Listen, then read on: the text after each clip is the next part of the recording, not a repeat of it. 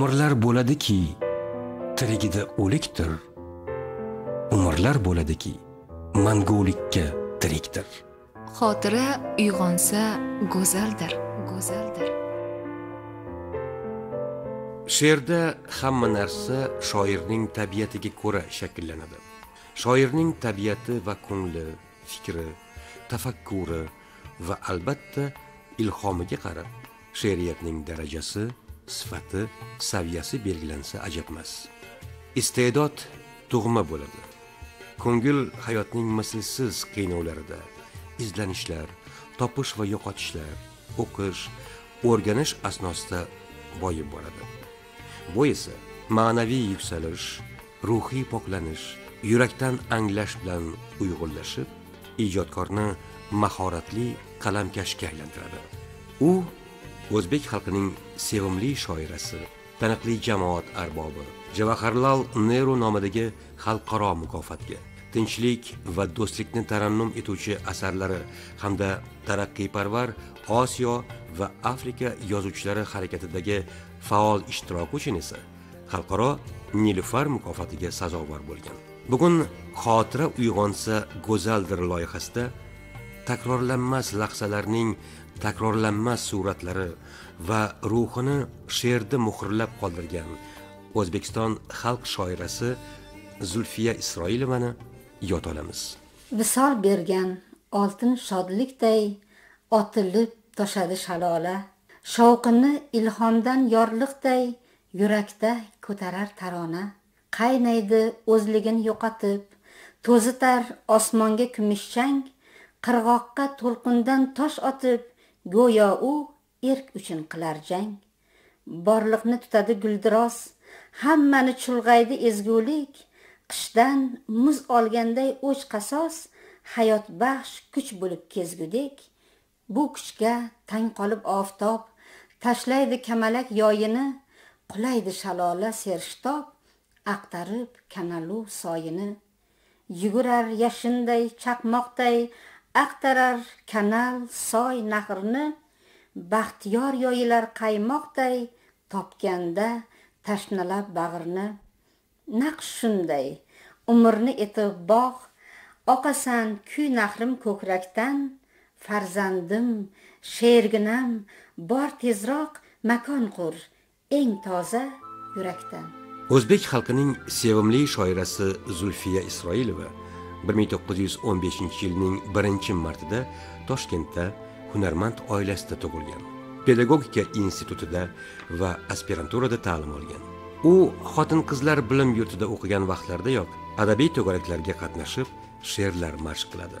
1935-1938 yillarda o'zbekiston fanlar akademiyasining til va adabiyot instituti aspiranturasida tahsil oladi. Faoliyati davomida turli nashriyotlarda muharrir bo'lim boshlig'i. 1950-1953 yillarda esa o'zbekiston xotin qizlari hozirgi saodat jurnalida bo'lim boshlig'i bosh muharrir bo'lib ishladi. 1932 yilda zulfiya 17 yoshida nashr etilgan hayot varaqlari nomli birinchi she'rlar to'plami bilan oydin muzayyana alaviya xosiyat tillaxonovalar safiga kirib keldi. Zulfiya hayotga cheksiz muhabbat bilan yashaydi. O'z tuyg'ulari qalbining ming bir asrorlarini she'rga soladi. Uning she'rlarida hayot mavjlanadi ko'ngil titroqlari sezilib orzulari bo'y ko'rsatadi. U chinakam tuyg'ular shoirasi edi.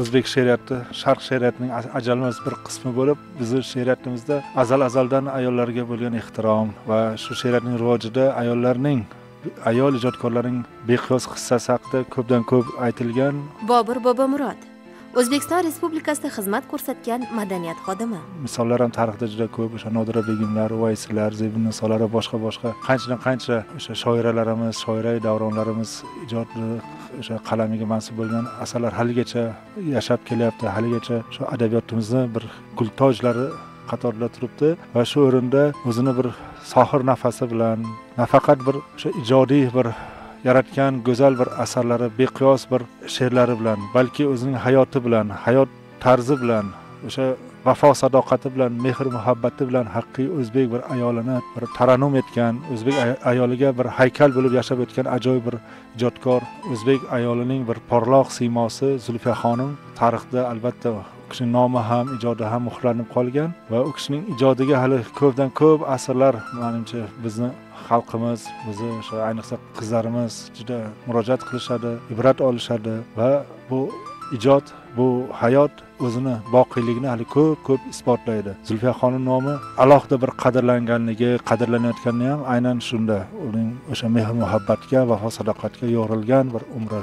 Shu ma'noda uning ijodi ham hayoti ham albatta hali biz uchun va bizdan keyingi kelajak avlod uchun ibrat bir dovoni bo'lib qolaveradi. Zulfiya she'riyatini o'zim bir maroq bilan varaqlab o'qib doim qaytib qaytib bir varaqlab turaman o'qib turaman. Ya'niki o'sha samimiy bir ko'ngil to'yg'onlar o'zi she'r haqiqiy she'r ko'ngildan tug'iladi. O'sha ko'rganingni kechirganingni bir yozsang tabiiy chiqadi samimiy chiqadi. Zulfiyada aynan shu. O'zidan boshdan kechirganlari ko'nglidan o'tkazganlari bir ayol sifatida bir o'sha mushfiqa bir ona bir sevimli sadoqatli bir yor sifatida boshidan o'tkazganlari ko'nglidan kechirganlarini bir qalamga tizib sokin bir daryoday shovullab oqib o'tgan bir go'zal bir qalb egasi deb bilaman. Shu ma'noda zulfiyaxonim she'riyatda xuddi shu narsa o'zini aksini topgan. Ya'ni o'sha ayolning bir kechinmalari botiniy dardlari hech kimga aytolmaydigan bir sirlari o'sha yoriga bo'lgan mehri vafosi sadoqati qolaversa o'sha bir zamon bilan hamnafasligi masalan o'sha atrofdagi o'sha voqealarga befarq emasligi jamoat arbobi sifatida ham qanchadan qancha o'sha yosh shoirlarni boshini silaganligu o'sha qayg'urganliklari hammasi hammasi uni ijodida o'zini aksini topgan shu ma'noda ko'p ibrat olsa bo'ladigan bir tomonlari ko'p. O'sha zamonda o'sha muhitda yashab turib ham o'zini ko'nglini yo'qotmagan bir shoira bir adiba sifatida bilaman.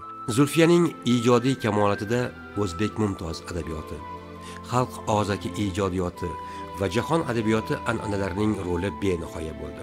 Shoira hindiston yugoslaviya shri lanka misr birma avstriya kabi mamlakatlarda bo'ldi. U 1956 yilda osiyo va afrika yozuvchilarining dehlida o'tkazilgan birinchi konferensiyasida qatnashib 1958 yilda mashhur mushoira asarini yaratdi. Uning she'rlari rus ingliz nemis hind bolgar xitoy arab fors va boshqa tillarga tarjima qilingan. Shoira nikolay nekrasov mixail lermontov vera inber Леся Украинка, Эдзи Огнецвет, marvarid dilboziy amrita pritam asarlarini o'zbek tiliga mahorat bilan tarjima qilgan u mehnat qahramoni ham edi o'zbekiston xalq shoirasi zulfiya opani man har gal eslaganimda mana shu saodat jurnaliga she'r olib borib qatnab yurgan paytlarim esimga tushadi. Saodat jurnaliga ocherklar e, bolalarga aytilgan she'rlar olib borganimda o'sha opa bilan ko'rishib turardik. Nurullo doston taniqli shoir. Endi biza kitobda maktabda o'qigan davrimizda o'sha darsliklarda o'qiganmizku hamid olimjon o'sha zulfiya opani she'rlarini hayoti va ijodini o'rganganmiz. Va bu o'sha saodat mana shu juda bir katta bir qutlug' dargoh sifatida ko'rilardi. O'sha inson muloqot chog'ida u kishini o'sha xodimlariga munosabatida va yuzidagi bir farishtavash bir qiyofani ko'rib man o'sha insonni boshqa dunyoni endilikda hozir dunyoni shu ayollari bilan shu taqqoslaydigan bo'lsam bu kishidagi sabr toqat bu kishidagi bag'ri kenglikni va sadoqatni boshqa dunyo xalqlarida o'sha narsani shu zulfiya opani darajasiga tenglasha olganini ko'rganim yo'q. Undan keyin mana zulfiya opani mana xalqaro osiyo she'riyat e, anjumanlarida o'sha mushoira degan yozgan she'rlarni biz maktabdayoq yodlaganmizda opani she'rlarini. Albatta endi o'sha har bir davrni o'zini mahsuli bo'ladi o'sha she'r yozilayotgan she'rlarga ham o'sha nuqtai nazardan qarashga to'g'ri keladi va shu bilan birgalikda zulfiya opani she'rlarida oddiy misralar bu jo'n misralardan farqli ravishda o'zida o'sha e, yurakni shu pulsi borga tebranishi borga o'xshaydida o'sha she'rlarni go'yoki shundoq qarab o'qib chiqish mumkin lekin fikrni jamlab agar bu she'rlarga e'tibor beriladigan bo'lsa o'shani ichidan sehrlarni topib olaverish mumkin. Ana shuning uchun ham moylam aka mana zulfiya opaga shogird bo'lgan mana shu shu nechta avlod yosh shoiralar bo'lsa o'sha zulfiya opani mehri zulfiya opani shu ozgina o'rgatgan o'sha qalam ushlashni o'rgatishi yoki bo'lmasam o'sha she'rdagi o'sha ravonlik o'sha yosh avlod shoirga ham o'tgan deb hisoblayman. Va man mana shu zulfiya opani mana shu yerda haykali o'rnatilgani va zulfiya opani e, nomidagi mukofot tashkil qilingani bu bizni xalqimizni ayolni onani shoirani ulug' insonni darajasini qanchalik e'zozlashidan dalolat beradi deb o'ylayman. Zero xalqni qanchalik kamolotga yetganini bilmoqchi bo'lsang uni ayolga munosabatda ko'rish kerak va shundan keyin xulosa chiqarish kerak degan gap bor. Mana shu zulfiya opaga bo'lgan E, bizni ehtiromimiz shu bizni millatimizni darajasini ko'rsatadi deb o'ylayman. Zulfiya opa bundan ham yuksak martaba o'sha nimalarga nomi shu hurmatlarga loyiq deb hisoblayman. Shu kunlarda bahorga zorman. Navjuvonlik o'ti tanda yo'q. Kuz singari za'far ruxsorman mevalar ham shoxlardan uzuq. Shu kunlarda bahorga zorman. Tan xastalik ezadi ruhim tanho emas qatorli norman. Yana neni izlaydi suqum shu kunlarda bahorga zorman. Shaffof yorqin kuy tilar ko'ngil. Yaxshiyamki qalamga yorman. So'zlab turar bor dilimni ul. Shu kunlarda bahorga zorman. O'z bahorim kabi bemisol. Bahor qaytmas yonuvchi qorman. Yo no'noq qo'l. Butagan nihol shu kunlarda bahorga zorman saksoninchi yillarda toshkent davlat universiteti hozirgi milliy universitet o'zbek filologiya fakultetida o'qib yurgan paytlarimizda toshkentda juda katta xalqaro adabiy anjumanlar o'tkazilardi muhiddin omon shoir. Shulardan biri lotin amerika va afrika yozuvchilarini e, konferensiyasi o'tkazilganda hech esimdan chiqmaydi o'sha davrda juda katta butun dunyo bo'yicha afrikadan osiyodan va hokazo hokazo butun mamlakatlardan mana shu qit'alardagi mamlakatlardan eng yutuq progressiv xalq jahon tan olgan yozuvchilar ishtirok etishgan. Masalan esimda bor muin bisisu kelgan nozim hikmatlar kelishgan va ko'plab ko'plab juda katta yozuvchilar shoirlar kelgan shular qatorida mustay karim david xog'oltinov rasul gamzatov zulfiya opalar bitta davrada ko'rganmizda biza. O'shanda biz yosh talabalar edik ular bilan mana shu konferensiyalarda ishtirok etib ularni nutqlarini eshitib she'rlarini eshitib o'shanda men juda katta yozuvchilar davrasida ularni yoniga borib dastxatlarini olganman. O'sha dastxatlarni ichida e, zulfiya opa ham dastxat yozib berganlar chingiz aytmatovlar bor edi. Mana shu xotira bir umr esimda qoladi o'sha kitobim dastxatlar kitobim hali ham bor. Haligacha mana shuni eslasam o'sha katta katta bir ulug' bir siymo ko'z oldimga keladi. Lekin yana bitta narsa o'sha zulfiya opa juda katta yozuvchilarni oldida ham ularni hurmatiga sazovor bo'lib judayam bir go'zal bir o'zbekni haqiqiy onajonisi bo'lib turgan nur taratib yuzlaridan nur taratib kulib turgan chehralari bir umr yodimda qolgan. Shu unutilmas xotiralar hamisha menga yangi yangi bir ilhomlantirib turadigan bir voqea bo'lib qolgan. Zulfiya bir ming to'qqiz yuz o'ttiz sakkizinchi yilda she'rlar va qizlar qo'shig'i kabi poetik asarlarda o'zbek qizlari ayollarning yorqin siymosini chizadi. Ularning elparvarligi mehnatkashligiyu qalb go'zalliklarini qalamga oladi. Zulfiyaga qadar o'zbek ayollaridan hech kim xalq hayoti ichiga ijtimoiy borliqqa insoniy siyosiy tarixiy hodisalar ichiga bunchalar chuqur kirib bormagan edi.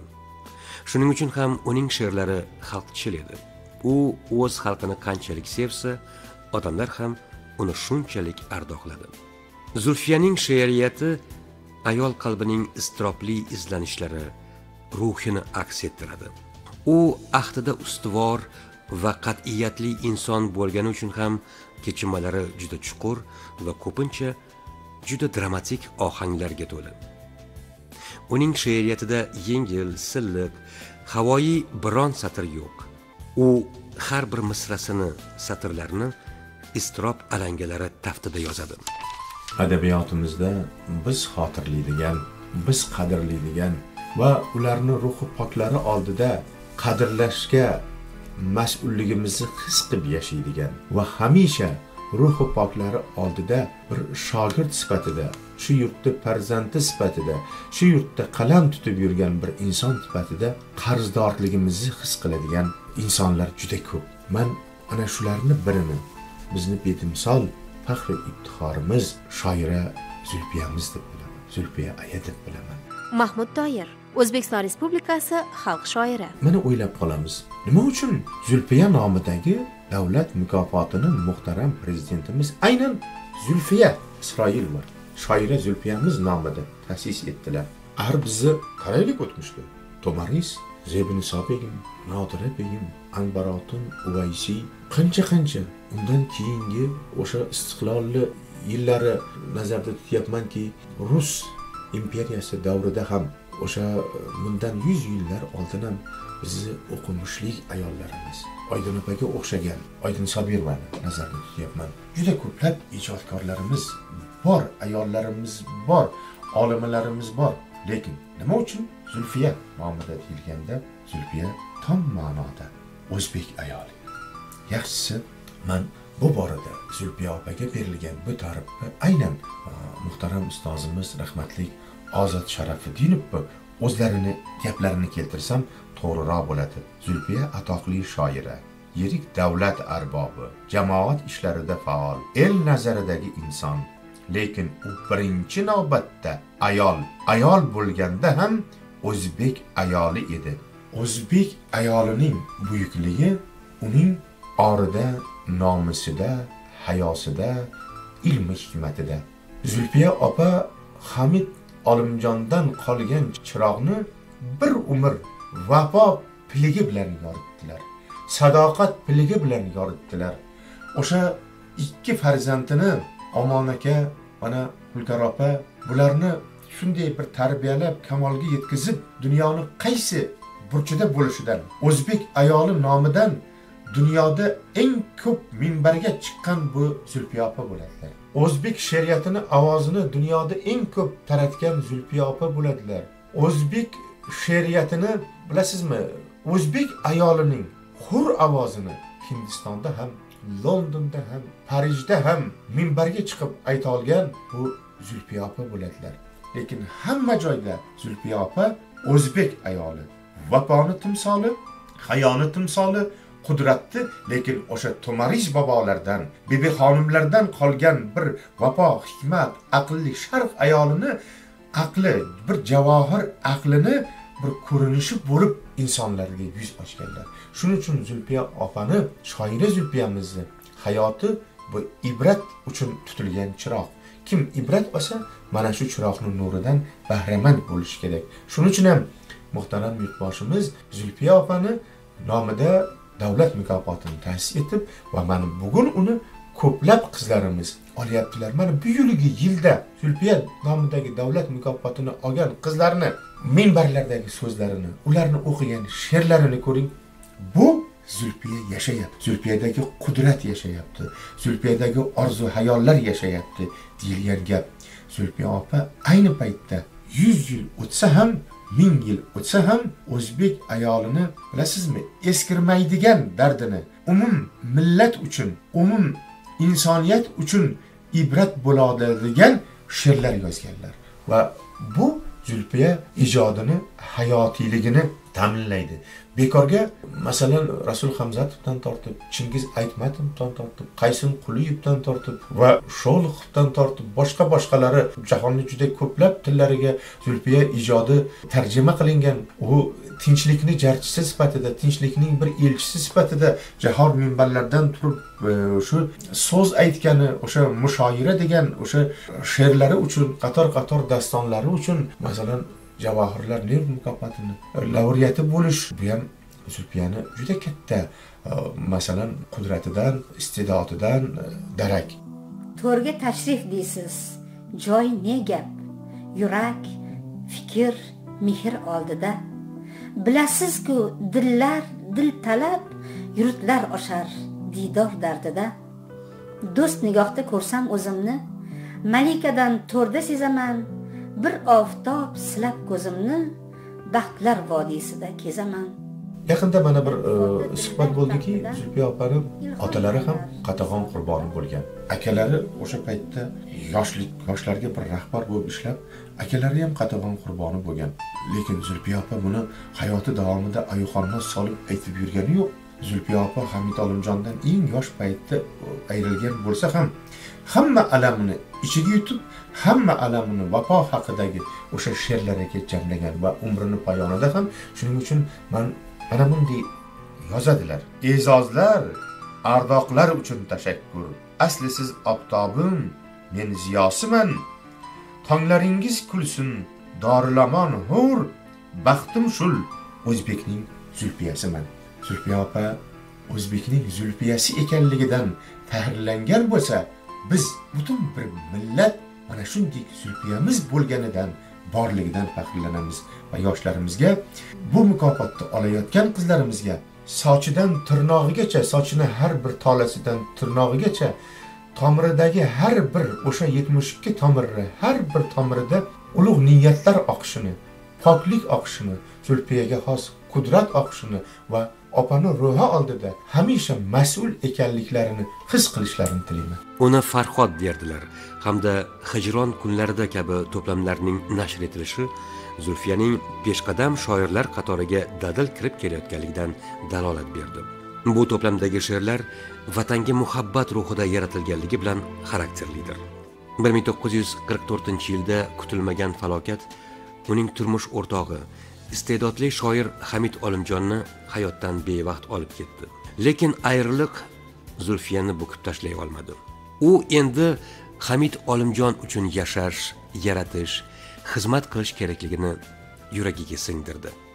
Bu katta ahd edi. Shoiraning dalada bir kun tong qo'shig'i kabi she'rlar turkumi shuningdek men tongni kuylayman. Yuragimga yaqin kishilar kuylarim sizga to'plamlarda vatan madhi. Mehnat jarayonida fidokorlik ko'rsatayotgan kishilar hayoti jo'shib kuylanadi. Zulfiyani e, shaxsan shaxs sifatida ko'rmaganmiz. Chunki katta avlod vakillari juda yam yaxshi bilishadi. Uni e, she'riyati bilan bolalikdan lekin oshno bo'lganmiz desam mubolag'a bo'lmaydi. Shamsiya xudoynazarova shoira. O'sha maktabda o'qib yurgan kezlarimizda zulfiyani ayniqsa bahor haqidagi she'rlarni juda sevib o'qirdik yodlab bayramlarda aytardik. Lekin umuman olganda u kishini shaxsan ko'rmagan bo'lsamda e, u kishi bilan birga ishlagan birga ijod qilishgan ham nafas hamdam bo'lishgan e, shoira opalarimizdan zulfiya e, haqida judayam yaxshi iliq fikrlar eshitganman. Misol uchun aytishadiki u kishini olis bir qishloqdan Э, yoshgina yoki maktab o'quvchisi bo'lsin u xoh dala mehnatkashi bo'lsin. She'r yozdim deb bir e, ixlos bilan o'sha saodatga e, she'rlarni ko'tarib kelgan qizlarni hamma ishlarni yig'ishtirib o'zlari o'sha bosh muharrir e, bo'lib ishlagan bo'lsalarda e, hatto o'sha o'sha koridorga chiqib kutib olar ekan shunchalik bir intiqlik bilan kutar ekan. She'r yozadigan kishilarga katta bir hurmat bilan e, ehtirom bilan qarar ekanlar deb eshitganman. Chunki buni tushunsa bo'ladi zulfiyani o'zi ham o'sha ijodga shunchaki havas deb qaramagan adabiyotga ijodga salmoqli hissa qo'shgan bu chin yurakdan samimiy umuman olganda hayotini mana shu sohaga adabiyot rivojiga hissa qo'shishga baxshida qilgan. Shuning uchun ham u shu to'rt qator e, bir samimiy satrni yozgan insonga juda katta hurmat bilan qaragan va o'z o'rnida iqtidorli qizlarni hamisha qo'llab quvvatlashga harakat qilgan. O'zi shoir uchun sendan shoir chiqadi degan bir og'iz iliq so'zni o'zi katta rag'bat. Mana shunday iliq so'zni hamma ham bag'ri kenglik bilan e, bir iqtidor egasiga ayta oladi deb o'ylamayman. Chunki buning uchun buni ayta olish uchun ham odamda qandaydir bir bag'ri kenglik kerak insonparvarlik o'sha iqtidorparvarlik kerak. Ana shu insoniylik iqtidorparvarlik millatparvarlik hislatlari shoira zulfiyada mujassamlashgan. Zulfiya ijodkor sifatida o'ziga nisbatan o'ta talabchan edi u o'tgan damlarini qanchalik qadrlagan oltin damlar kabi yuraklarda asragan bo'lsa kelajakning ham yorqin nafaslarini shunchalar aziz ko'rardi. Fursatning mazmunini o'lmas so'zlarga ko'chirishga intildi. Uning she'rlarida qalb vaqt muhabbat firoq va albatta umid tuyg'ulari birlamchi bo'lgan. Atoqli shoira zulfiya isroilova 81 yoshida 1996 yilning avgust oyida toshkentda vafot etgan. Men o'zbekiston xalq shoiri zulfiya xonimni ko'rmaganman u kishini suhbatlarida bo'lmaganman lekin bir narsani alohida ta'kidlashim kerak. O'sha bolalik paytlarimdan mana shu zulfiya opaning she'riyatiga juda e, shaydo bo'lganman. U kishini she'rlarini yod olganmiz. Maktab tadbirlarida borinki mana shu universitetlarda bo'ladigan tadbirlarda ham shu zulfiya opani she'rlarini o'qib qatnashganmiz. G'ayrat majid shoir. Shu ma'noda aytishim mumkinki zulfiya opani biz ko'rmagan bo'lsakda zulfiya opa baribir biz bilan qanaqadir o'sha she'rlarni o'qish asnosida hamsuhbat bo'lgandek. Mana shu she'rlarni o'qigan paytlarimda xuddi zulfiya opani ko'rgandek bo'laveraman. Zulfiya opa bir satrlari bor. Baxtim shu o'zbekning zulfiyasiman degan satrlari. Bu mana bunday satrlarni aytish uchun esa albatta bir ma'naviy haq bo'lishi kerak va haqiqatda ham zulfiya opa o'zbek xalqining sevimli shoirasi va shu ma'noda o'zbekning zulfiyasiman deyishga ayta olishga haqli bir shoira edilar. Va shu ma'noda mana shu zulfiya o'zbekning zulfiyasiman degan ma'naviy haqni mana shu shoiramiz o'z ko'ngillaridan his qilganliklarini doimo anglab turaman his qilib turaman. O'sha bahor bilan bog'liq satrlar yodimga kelyapti. Shu narsani aytib bermoqchiman. Inson ko'zlarida jon olar bahor barcha tomirda uning to'lqini o'tmishning behuda oni kabi qor beiz bedard erib ketar uchquni. Inson ko'zlarida jon olar bahor o'yinqaroq go'dak singari bulut ko'k qovog'i o'yiq yorqin bir viqor. Kishilar qalbidan boqar bo'lib o't. Bahorning sehrgar boqiy chiroyi yoshu keksa ko'nglin ovlaydi birdek ko'zguni sindirib tashlar kiroyi. Har kishining yoshi bu fasl. Dildek har nurga har qushga har kurtakka shod. Benihoya yaqin bo'ladi yiroq go'yo sensiz hosil bo'ladi barbod. Har tikilgan chigit ko'ksing etar tog' bahor bo'lmasaydi odamzod albat o'zi kashf etardi kashf etganday baxt qanday go'zal misralar bilan tugayapti? Agar bahor bo'lmaganida uni insonning o'zi kashf qilib olardi insonning o'zi yaratib olardi degan mana shunday poetik so'zlarni aytish faqat zulfiya opaga xosmi deb o'ylayman. Mana davlatimiz tomonidan zulfiya davlat mukofoti ta'sis etilgan va ko'plab shoira qizlarimiz e, zulfiya mukofoti sohiblari bo'lishyapti va ular bevosita mana shu zulfiya opaning izidan ketayotgan zulfiya opani izidan borib mana shu o'zbek adabiyotini yuksaklarga ko'tarishga harakat qilayotgan yoshlar deb bilaman. Va shunday qizlarga ata mana shunday qizlarga oq yo'l tilab turgan zulfiya opaning ruhlarini qaysidir ma'noda she'rga solishga va zulfiya momoning qizlari va zulfiya momoga munosib inson bo'lingizlar degan bir ruhda yozilgan o'zimning misralarim bilan mana shu mulohazalarimga xotima yasamoqchiman. Qancha yashashini bilmaydi inson. Bir kun osmonlarga uchib ketgay jon charxga meros dilning toza so'zlari. Zulfiya momoning suluv qizlari munisa yaproqlar ne'matdir beshak. Bunda toshlarni ham tushunmoq kerak. Goh jannat goh do'zax haqning ro'zlari. Zulfiya momoning suluv qizlari. Bunda har gul aytar sohib chiroyman. Ba'zan yulduzlarga qarab o'ylayman bu ko'kning charaqlab turgan ko'zlari. Zulfiya momoning suluv qizlari bilginey yolg'onning davroni bekor nozik dillarga bir tumaris darkor ozodlik ko'ngilning nurli kezlari. Zulfiya momoning suluv qizlari mahkam tut qo'lingda quyoshli qalam quyoshli qalamdan quyoshli olam. O'chmasin zulfiya momo izlari zulfiya momoning suluv qizlari. Ona tuproq oromda yotar olib tungi rizqi qudratni. Mening tongim qalbimda otar uydan ko'zdan haydab zulmatni. Tundan tongni uzib olaman katta bo'lsin deb ishli kuni qog'oz uzra sahar yoyaman bag'ishlayman. Umriga qo'nim oy qoldirgan momiq izlarni ko'chiraman she'r satriga isitmovchi sho'x yulduzlarni payvandlayman yerning taftiga olov chehra qizlar qatida baxt to'qishga beraman farmon toki yashab inson vaqtida quyoshga tek boqsin bissimon mening tongim boshlanar tundan kuzataman g'uncha kulishin tog' ortida boshlanar kundan yaproqlarda shabnam so'nishin sinaday oq tong uyg'onishi husniga yo'q kunduzda qiyos sahar bedor qushning xonishi ajib shodlik yoniq ixtiros qay uydadir yig'ladi go'dak. Ber onasi xushbo'y ko'krakni unga temir qanotlar kerak tark etmak uchun bu tor yo'rgakni uzoq yaqin derazalarda birin ketin yonadi chiroq shoshqin qadam kuy pardalarda yangi tongga kiradi tuproq. Tundan yulgan tongim goh bir she'r goh o'qilgan bir kitob bo'lur. Goh umrning o'tgan behosil safhasiga bo'm bo'sh bob bo'lur. Umrlar bo'ladiki tirigida o'likdir. Umrlar bo'ladiki mangulikka tirikdir. Xotira uyg'onsa go'zaldir go'zaldir.